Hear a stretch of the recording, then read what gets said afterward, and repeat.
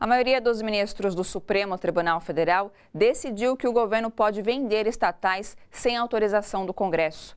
O julgamento iniciado ontem ainda não terminou. No momento, o placar está 6 a 3. A votação está definida como queria o governo.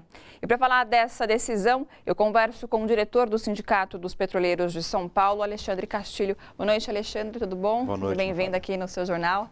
Não sei se, no caso, né, infelizmente, aí a notícia não é tão boa né, nessa questão. O que, que significa essa decisão hoje do Supremo? É, eu estava acompanhando um pouco, né? É, não, não, finalizou ainda a votação, mas a linha de, do, do, debate estava em duas sequências. Sim.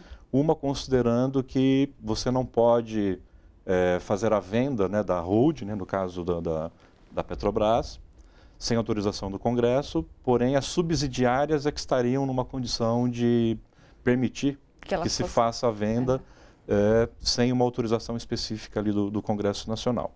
Então nós estamos nessa expectativa né, de conseguir ainda manter essa, essa condição de que a Petrobras não possa passar por esse processo de venda, mas as subsidiárias, é, aparentemente o processo está encaminhado né, para que tenha essa permissão.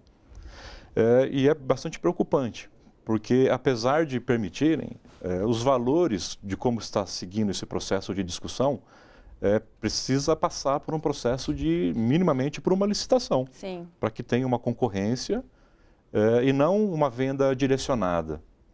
É, Para você ter uma ideia, né, a, a, o, que está em debate ali, que era a TAG, né, uma das subsidiárias, o valor de venda dela ficou em 8 bilhões, passado para a Petrobras. Só que o lucro dessa subsidiária, no ano passado, ficou na casa dos 7 bilhões. Então é a venda por um valor próximo daquele que é o do faturamento que a própria empresa possui. E a Petrobras vende né, é, essa subsidiária e ela vai alugar a própria rede de tubulação num valores ali de, na ordem de quase que um bilhão por um período ali de quatro meses, quase, quase um semestre. Então dá para falar que só do aluguel que a Petrobras vai pagar no uso dessa, desse sistema que foi vendido, é, em quatro anos estaria já gastando todo o dinheiro que ela recebeu na venda. Então, até comercialmente falando, é um equívoco então, o que está sendo praticado. Não há um benefício. Não há um benefício ali para a Petrobras, nem para o povo brasileiro de uma forma Quem geral. Quem ganhando com isso, Castilho? Quem ganha com isso são as, as multinacionais que estão é, se aproveitando de, de ofertas baratas né, de uma estrutura que foi construída sobre o suor do povo brasileiro. Porque todo investimento que foi feito é, é recurso do povo brasileiro. Então, toda essa estrutura ela deveria estar direcionada para garantir que toda a produção de combustível no país e distribuição conseguisse chegar no patamar de preços o mais baixo possível para ser acessível para a população. Baixar preço da gasolina, do diesel, gás de cozinha. E se você começa a se desfazer da sua estrutura de distribuição, sem ter uma vantagem econômica clara, no médio prazo e nem no longo prazo, então você parte para um processo de um imediatismo que não resolve Sim. o problema ali do país e muito menos do povo brasileiro.